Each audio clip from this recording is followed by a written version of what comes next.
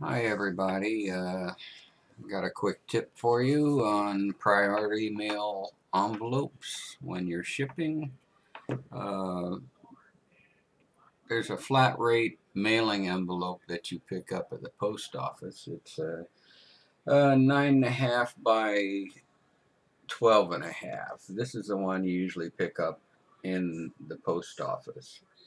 And you can ship I've shipped jeans and shirts in these, uh, but usually jeans because I can't get them to go first class mail. They're too heavy. But uh, uh, you do a little cramming, you can get your jeans in here. But uh, there's another uh, flat rate envelope. It's uh, legal size. It's this one here, and it's nine and a half by 15 inches and it's a little bit larger as you can see.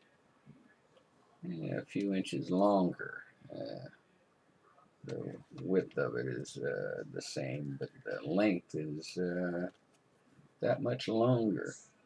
And it uh, helps me unpacking some clothing items. If I have two shirts or whatever and I want them to go over the uh, 13 ounce first class mail limit I can usually get them in here. Uh, or a larger pair of jeans goes in pretty easy compared to this one.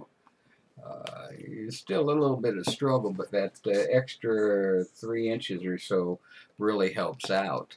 Uh, you can order these online, the legal size priority flat rate, and uh, you can get them online. They usually cost to ship on these uh, standard 9.5 by 12.5 uh, about $4.95 to ship an item.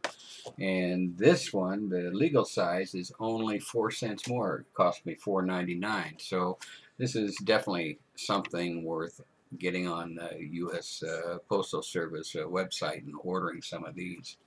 And I've gone through quite a bit. I'm going to have to order some more.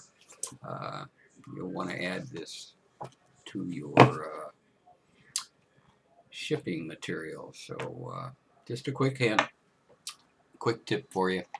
So uh, we'll check back with you later.